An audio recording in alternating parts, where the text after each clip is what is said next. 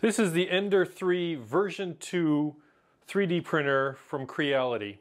I've owned this 3D printer for a bit over two months. I'm probably not the heaviest of users. I, I, tried counting it up in my head and I'm sure I've forgotten some, but I think I've printed like 20 different things and they've, for the most part, they've just turned out fine. There, there was a bit of fiddling at first, getting things all set, but for the most part, it's been a push the button and let it go sort of thing, which is exactly what I want in a 3D printer. I've got these two upgrade kits, and today I'm going to be doing two inexpensive upgrades to my printer. First, I'm going to replace the bed leveling springs. This should be like a quick five minute replacement job. Uh, this kit is about 13 bucks US, $16 Canadian. Comes with some knurled wheels and some springs. And the second upgrade happens around back. With the second upgrade, I'm going to be replacing this plastic extruder assembly with a, a machined aluminum one. And this kit is about 20 bucks US, $25 Canadian. In full disclosure, both these kits along with some filament were provided to me by banggood.com. I got links to all of this down in the video description, but there's all kinds of versions, versions of these that you can find in various places online. Okay, first the springs. This is a really simple thing. There are eight parts. There are four aluminum wheels and there are four heavy duty springs if I can get them apart. Looks like they're nicely tangled together. There we go. There's So all we really have to do here is unscrew each corner of the leveling bed. Take off the old wheel.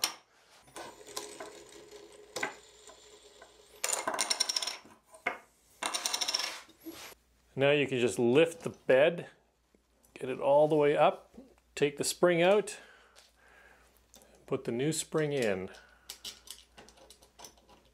and do that for all four corners.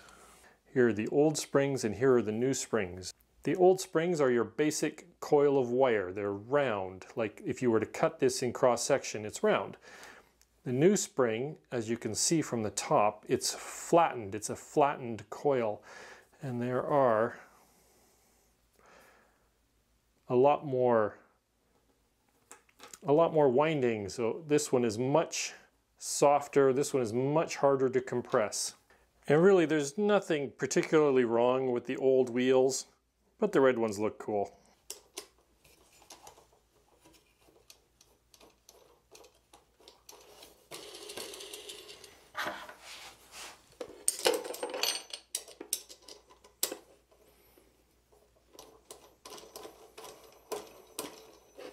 So told you it was easy. Four springs, four wheels, all done. The only thing left to do now is to level the bed, but I will wait until I'm done the other upgrade for that.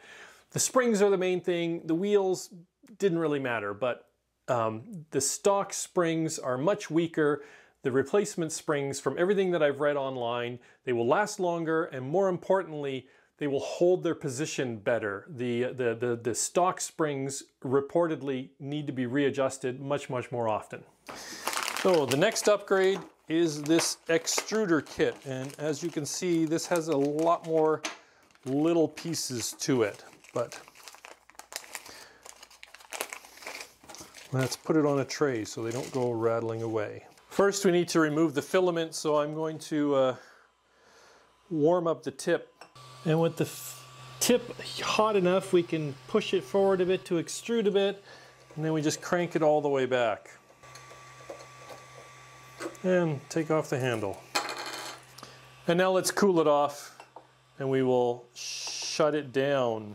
Here's another look with all the parts unpacked and laid out. There's a spring, there's a, a gear, there's some long screws and short screws, bearing. So yeah, it's a bit intimidating at first glance, but we just keep track of things as we take them apart on the old one and just put them all back in the same order, just out of new parts. Loosen this screw, and then this spring should come out. Notice this on a little bump there.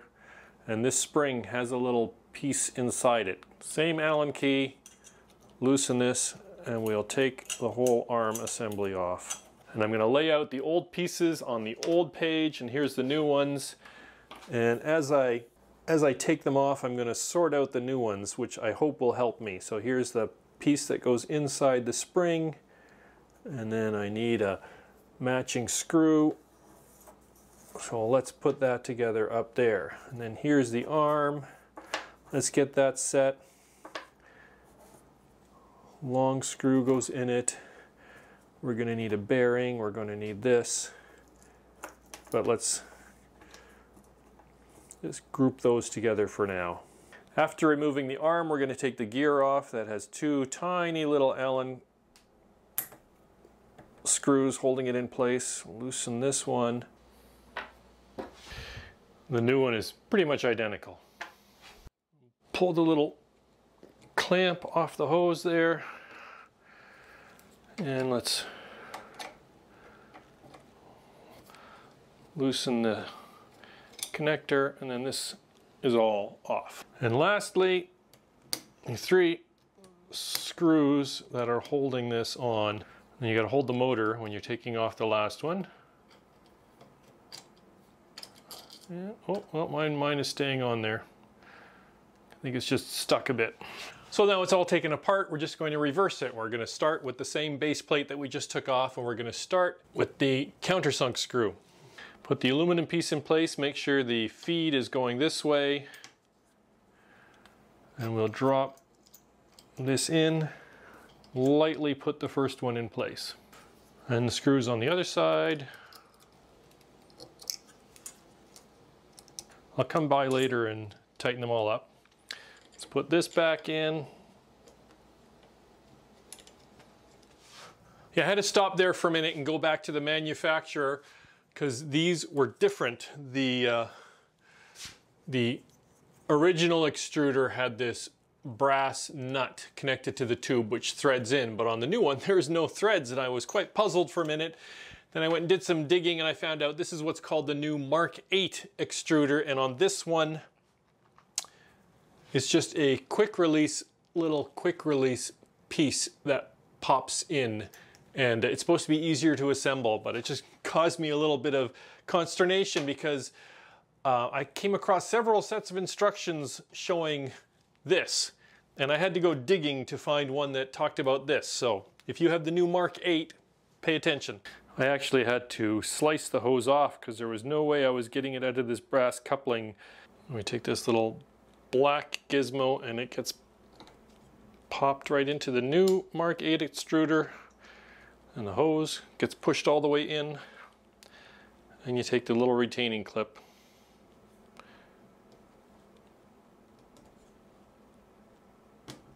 and that clamps it into place. There we go. It actually is really simple to assemble. Take the new little brass gear and slide it onto the shaft. Make sure one of the Allen keys lines up with the flat spot. Bring it down. Bring it down so the teeth line up with the hole where the extruder filament goes and tighten it in. Careful you don't strip these because they're quite small. So now let's put this arm together. Notice it has this little red collar that slips in there and that is the longer screw that goes in. Just put that there. We need the pulley, we need a little washer and this little screw with the put the washer on, put the pulley on, put it into place here. tight enough so that it still turns. Okay, and on the inside there's that hole and you put this little screw in there. That's where the spring is going to go. This is just to keep the spring from jumping around. It's like that. Now, bring the arm into position and we will put it here. Now, there are some instructions online that talk about a washer. There was no washer in my kit. So I presume it is not required on the new version of the kit. So last three pieces, we get the spring and this little sleeve that goes in the spring and this last screw. I'm going to start the screw first just because that way it's already there when I start wrestling with the bouncy spring but I'm not having it stick through here. Then we'll get the spring and it goes onto this screw and then we will compress it into position here. My screw is a bit too far. Let me back that up using the Allen key. Let's push this. Come on.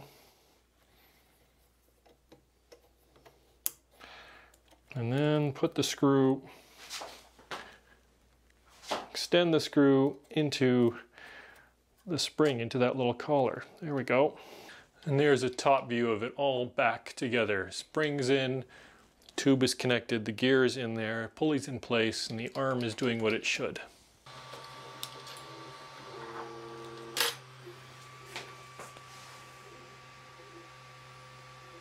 We're off to a good start. Let's see how it does in a couple hours.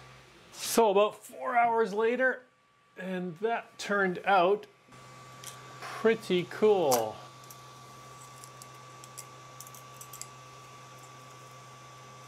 I'm not very practiced at uh, supports under overhang, so this is one of the first times I've done it. Let's try to get this apart without breaking it. There we go. I didn't really have anything special I needed to print right now, so I just grabbed a little Star Wars robot off of Thingiverse. I just wanted to make sure everything was working after doing all these changes, and it is. So that's it for now, folks. Thanks for stopping by. If you missed when I built this, you click up there for the video that I'll talk about when I actually built the printer. And if you click down below, that's a video that YouTube thinks you're interested in. And there's probably a subscribe button somewhere, and we'll see you on the next one.